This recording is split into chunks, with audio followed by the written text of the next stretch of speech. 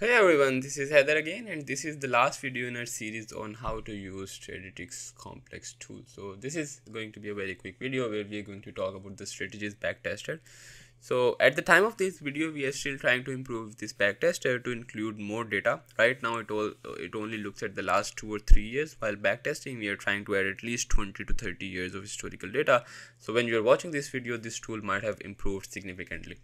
So well, let's just quickly go over how to use this tool. So we have a symbol that we want to backtest some certain technical analysis for and some certain buy and sell strategies for. So let's see, we, we have a technical indicator such as RSI. We want to buy whenever we are uh, the, the RSI value is less than 40. So we are just going to add that strategy. We also have a bunch of pre-made strategies that we can use for, for sell let's say we want to sell whenever we are greater than 60 you're going to add that as well. So sells are going to be red and buyers are going to be green here.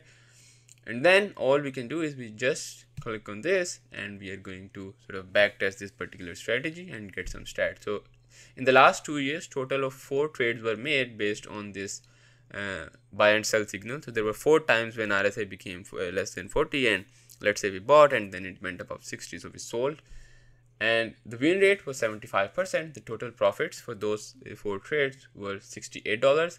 Mean profit was 17.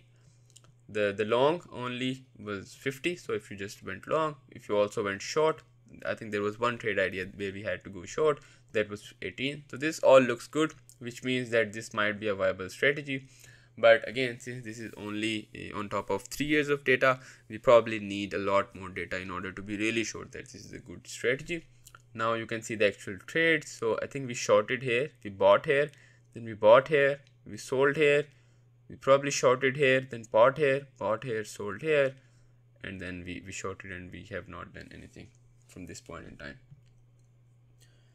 So that's it about spy then we, you can see the win rate the biggest drawdown the biggest win pretty good win.